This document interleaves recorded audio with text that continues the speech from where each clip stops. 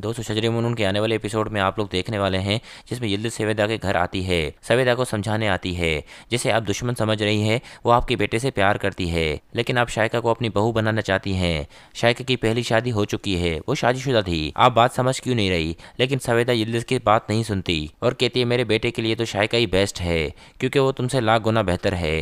Yildiz कहेगी, आप मेरे बेटे हालिद जान की वजह से ये सब कह रही हैं, लेकिन ये मत भूलें, शायका की भी शादी हो चुकी है, वो भी आपके बेटे से काफ़ी बड़ी है। और उस औरत का मकसद कुछ और है। यिल्दिज सवेदा को सारी हकीकत बता देती है, लेकिन सवेदा यकीन नहीं करती। आखिरकार यिल्दिज रोते रोते वहाँ से चली जाती है और सवेदा नहीं चाहती कि यिल्दिज और कैगिट एक हो जाएँ।